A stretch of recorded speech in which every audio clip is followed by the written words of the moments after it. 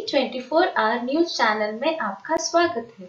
सबसे तेज खबर पाने के लिए आज ही हमारे चैनल को सब्सक्राइब करें और बेल आइकन दबाना ना भूलें।